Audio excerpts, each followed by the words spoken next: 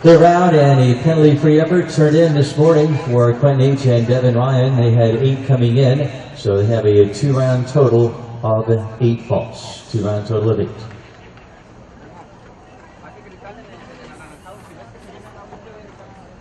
Here's